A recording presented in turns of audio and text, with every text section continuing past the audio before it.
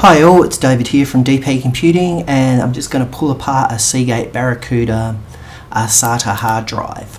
Um, just a word of warning, don't try this at home with your hard drive because as soon as you open it up you'll lose all your data. If you're trying to recover data or anything like that, please take it to a professional data recovery centre. Anyway, first we have to remove these screws here. Now the screws are Torx, Torx screws, so you need a Torx screwdriver.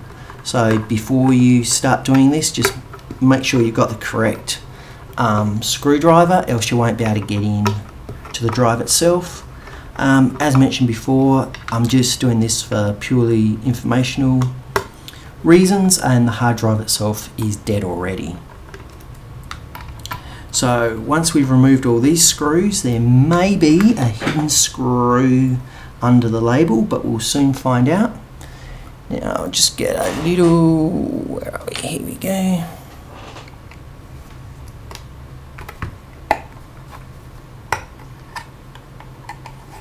So I've just got a little screwdriver to wedge under there and it looks like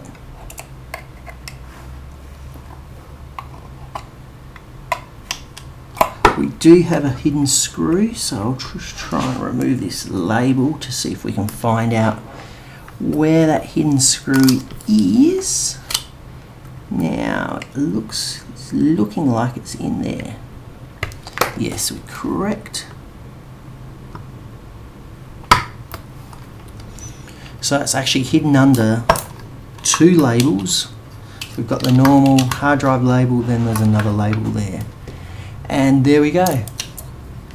Um, that's the insides of the hard drive itself got the disk platters, these spin around, and the read-write head, which moves across and reads the data. So they're very, as you can see, very shiny. You can probably see my face in there. And that's the internals of a Seagate 3.5 inch hard drive.